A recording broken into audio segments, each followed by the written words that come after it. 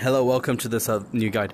So we're going to talk about grabbing things and onwards without having to look down because it's such a pain when you're in the you're doing this, you're doing this, and you decide to get another mag, and it gets the thing instead, and it's, it's particularly annoying when you're trying to switch from the rifle to the pistol, right? Because you'll do this, and half the time, damn it, it's the tablet, right? So this is what we're going to be covering today. So getting the rifle is the easiest one. Grab your chest and use the grab button. If you want to grab the syringe, you're going to grab your hip.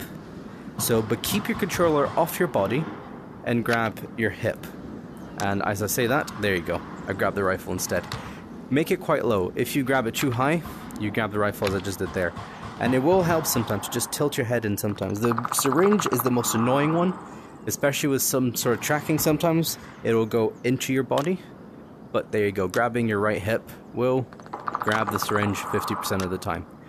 Grabbing your pistol. Now you'd be tempted to grab it wherever you actually grab the holster, right? Which is somewhere around here. And the problem is that might do that sometimes, but if you do it slightly wrong, it'll grab the tablet, especially if you've been turning around a lot, rotating, moving. The body won't be in sync with your actual body, and you might end up getting the tablet instead. So, to get the pistol, what you do is extend your arm just completely straight, about 10 degrees off your hip, and it'll grab the pistol. So when I'm here, and I run out of bullets, drop it down to the hip, extended, right? Make sure you extend the arm. So I'll do it slow. Shooting, shooting, shooting, shooting. Hip, extend, like this. And as you can see, it doesn't work if I'm looking at it because the tracking knows exactly where I am. Whereas if I'm not looking, the accelerometers aren't too sure, so it's going to go for the closest thing, which is the pistol. Cool.